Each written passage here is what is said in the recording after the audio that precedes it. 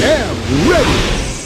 GMA Weather. Serbisyong totoo ng GMA News. Nagdadala ng ulan sa ilang lugar sa bansa ang binabantayang low pressure area na dati pong bagyong Domeng. Huling namataan ng pag-asa ang low pressure area na iyan sa layong 560 kilometers sa silangan ng Surigao del Sur. Base po sa datos ng The Weather Company, hanggang sa katamtamang ulan ang inaasahan sa hilagang bahagi ng Mindanao, partikular na po sa Surigao. Mahihinang ulan naman ang maaaring maranasan sa iba pang bahagi nito. Hanggang sa katamtamang ulan naman ang maaaring maranasan sa Visayas. Ayan po mga kapuso, ang silangang bahagi po nito ang pinakauulanin.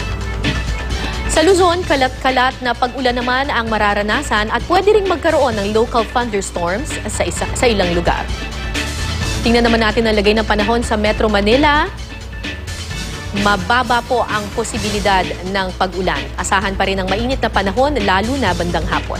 Yan po ang latest mula sa GMA Weather. Para sa iba pang weather update, bisitahin ang www.iamready.ph at ang social media account ng I Am Ready PH. Magplano para sigurado, I Am Ready, serbisyong totoo ng GMA News.